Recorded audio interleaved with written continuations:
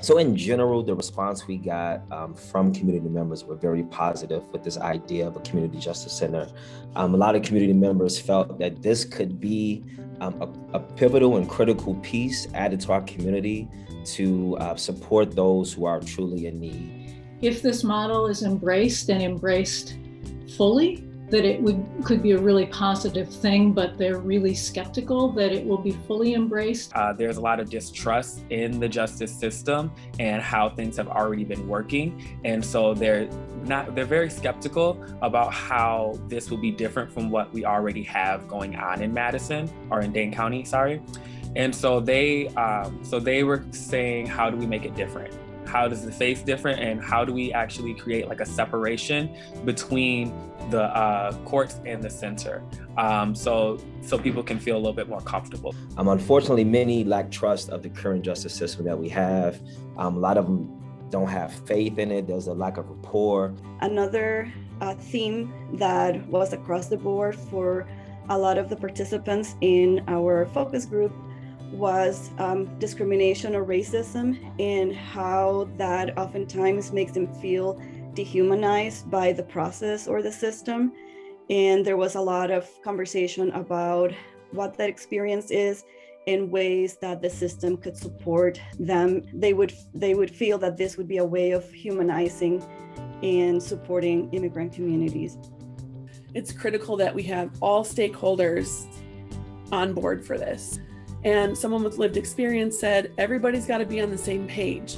Everyone involved has to be willing to go forward, significant effort, and just being sensitive to different needs for different people. And so many of them wanted to see could there be educational um, services at the center to really educate folks about the process and about a person's legal rights.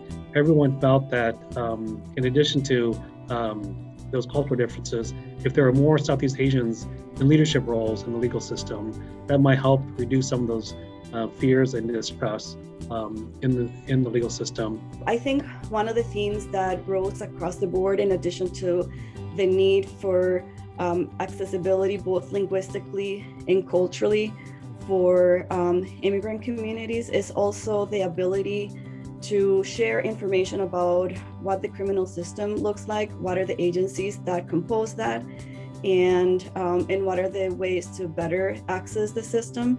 Um, People felt this can be a good collaboration between UW, Madison College.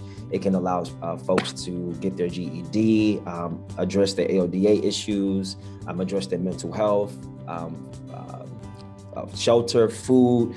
Overall, um, folks like the idea of the Social Justice Center um, so much that even some of the Hmong youth uh, wanted to volunteer to be part of the youth court.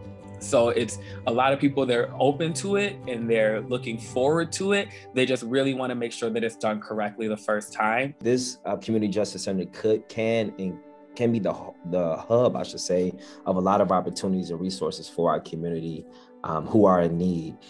And and this would in, indeed change the mindset because this isn't a, a, policy thing or a behavior thing. It's really a hard thing when it comes to a lot of um, the feelings and, and the impressions that individuals have of our community or the criminal justice center. So